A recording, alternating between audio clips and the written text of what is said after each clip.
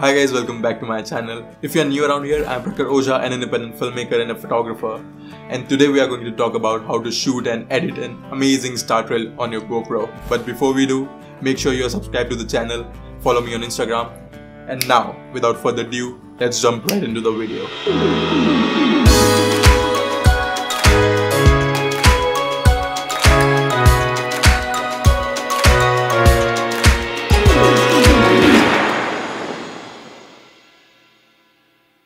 Now that I have tried it a few times, here's a step-by-step -step process on how to shoot an amazing star trail on your GoPro and my recommended settings.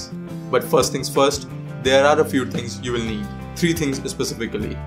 First, a GoPro, of course.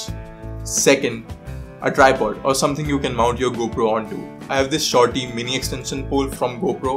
It's pretty good and sturdy and does the work. You can use anything you have. And third and most important, patience, a lot of it. It's a time taking process and you need a lot of it. Now that's being said, here are my recommended settings. First of all, start your GoPro and go to the time-lapse mode. Hit this little icon on the bottom left and select the night lapse photo mode. Click on the settings below and now for shutter, I prefer keeping it around 20 seconds. It helps in darker situations. I like to keep my interval around 30 seconds and make sure ProTune and RAW are always on. The white balance, I keep it around 5500 as you can always change it in the post. I like to keep minimum ISO around 100 and the maximum ISO, well it depends on the situation you are in. And that's it, now you are good to go. The longer you keep the GoPro running, the longer the star trail will be.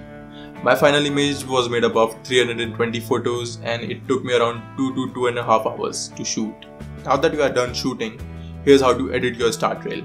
Once you are done shooting, transfer all the images to a computer and import them to Lightroom. You can also use Photoshop to edit them, but I prefer using Lightroom. Now, edit the very first image. I have already edited mine once you are done editing, select all the images and hit sync in the bottom right corner.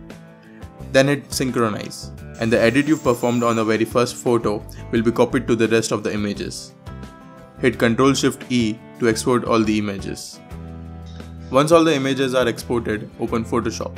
Go to File, Scripts and select Load Files into Stack. Browse and find all the edited images Select all the images by hitting Ctrl A on your keyboard and click OK. It will take some time. Once it's done, select all the images except the last one and change their blending mode to lighten. And that's it. You are done here. But if you want to create a Star Trail video, you can do that too.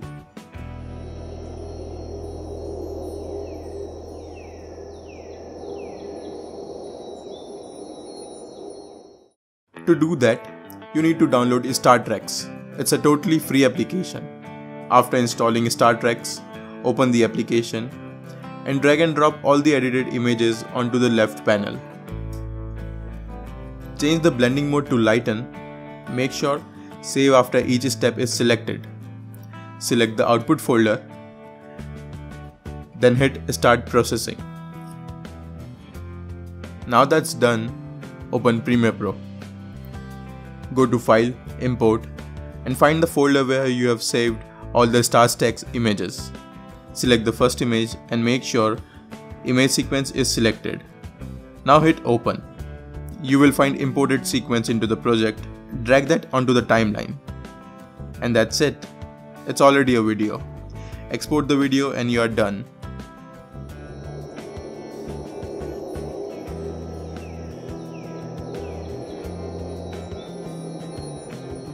So that's how you shoot and edit an amazing reel on your GoPro. I hope you really enjoyed the video. Please hit the like button, bell button. Should you have any doubts, comment below and let me know.